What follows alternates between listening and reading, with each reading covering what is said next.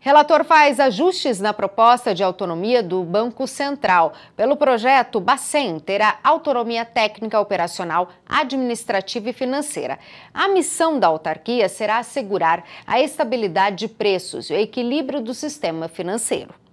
A autonomia do Banco Central proposta pelo governo e definida pelo presidente Jair Bolsonaro como uma das prioridades para 2020 pode favorecer a abertura de novo concurso caso seja aprovada, uma vez que a instituição teria maior liberdade para definir sua atuação e mobilizar verbas para cobrir despesas. A autonomia do Banco Central já vinha sendo discutido há vários anos por outros governos. Né? O que, que se pretende? É evitar que o Banco Central seja influenciado por questões políticas. Né? Então, vai se, dar, vai se prever a autonomia do Banco Central e concedendo ao presidente do Banco Central e seus diretores mandatos que não vão coincidir com os mandatos presidenciais. Com a aprovação do projeto, o Bacen também não teria mais que solicitar autorização do Ministério da Economia para realizar novos concursos. O provimento de cargos e quadro de pessoal seriam gerenciados pela própria direção do banco.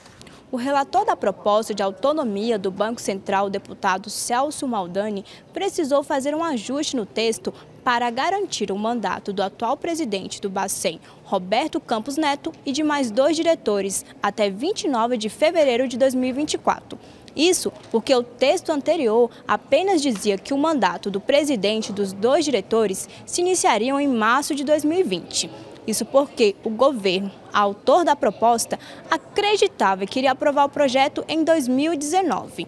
O presidente da Câmara, Rodrigo Maia, disse que espera aprovar o projeto o mais breve possível, mas ainda será necessário votar no Senado. Então, é, busca-se então realmente não haver nenhum tipo de ingerência política dentro do Banco Central, que é aquele que dita as regras né, é, econômicas e, enfim, é, taxa de juros para o país.